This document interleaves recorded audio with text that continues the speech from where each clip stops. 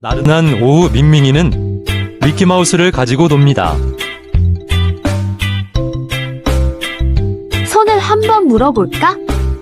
뒤집어 볼까? 목을 물어야겠다.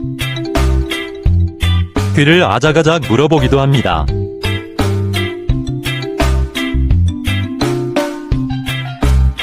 목을 물고 빙빙 돌리기도 하고 손으로 뺨을 때리기도 합니다.